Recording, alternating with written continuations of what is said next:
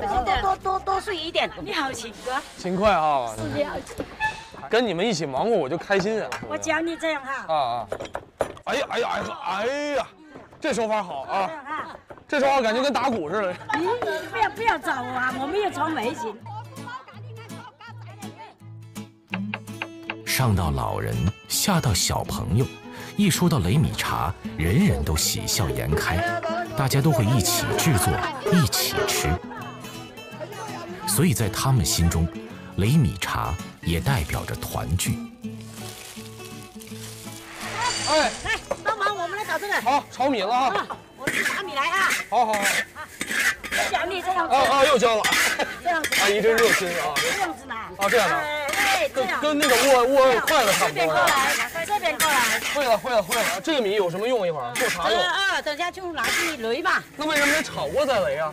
炒了就有香味啊。擂炒从哪个香味呢？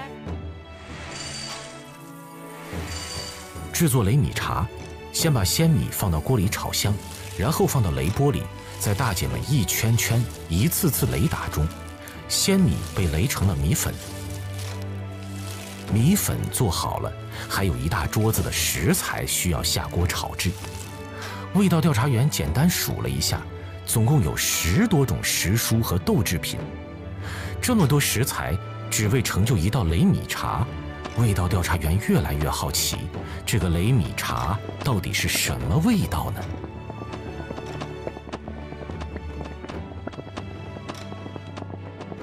小茶，我来看一下。啊，炒豆腐啊啊，，炒豆腐。轻轻炒，这豆腐容易碎啊，不能让它碎。还要炒什么吗？炒米奇啦，我们这自己做的那个米奇。哦，这个这到什么程度这个？我们闻起来那个香味出来了，就可以了哈。可以了哈，可以起锅了。好，起锅香吗？闻着香吗？还行哈。啊，拿锅开始起锅了。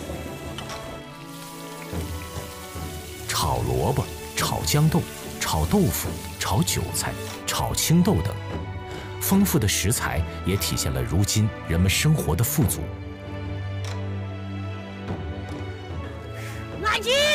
烧火，烧火了，煮熟了，不来了。开始打米糊了啊！低一点，低一点，不要那么高，低一点。这锅就粘稠了啊，哈。它是粘稠了。咱们现在准备把这个料和进去嗯，放啊。进去。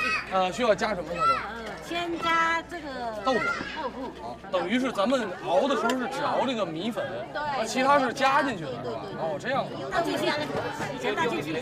这个粥感觉特别粘稠啊。锅中的水被烧得滚烫，将米粉倒入锅中，不断搅拌，直至形成米糊。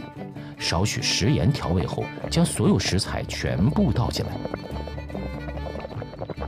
一盆盆食材倒入米糊中，看着很是喜人，这也是当地人幸福生活的体现。大伙儿吃米茶喽！吃米茶喽！不急不急啊，每个人都有啊。来来来，这才叫过年的气氛啊！哇，我现在终于要尝尝这米茶什么味道了。